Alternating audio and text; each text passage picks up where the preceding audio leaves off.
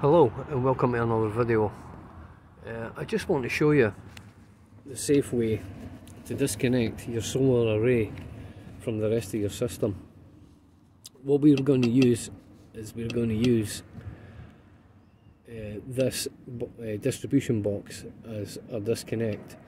Um, you always want to be disconnecting both the negative and the positive when you disconnect your solar array and the more panels you have up there the more voltage the more amps you're going to have and you need a way to disconnect it safely. Um, now some people are jumping up there you know and they've got six panels in series. Maybe they've got 120 volts you know at 5 amps. They're up there in the wet and are uh, messing about with MC4 connectors. So for me that's a bit dodgy. You know you could end up you know you could end up uh, in a bad way with that. Another one is some people are using these single pole uh, switches.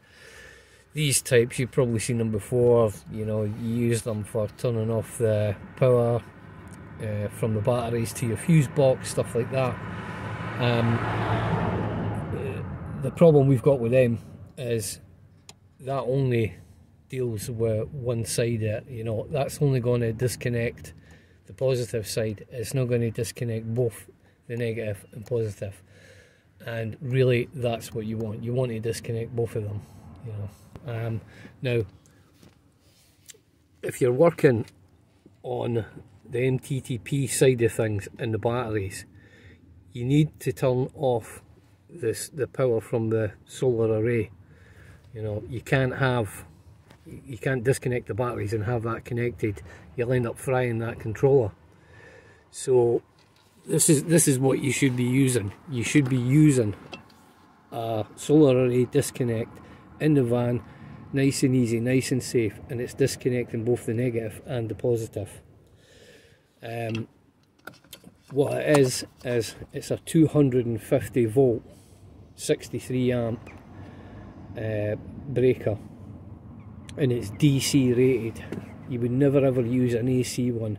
Remember the power coming in is direct current so you must use a DC a DC breaker and not an AC breaker. Um, and really this is the way this is the safe way to disconnect it. What I'll do is I'll leave a link in the description and uh, where where I got mine. And uh, I hope this helps somebody. Take care. Bye bye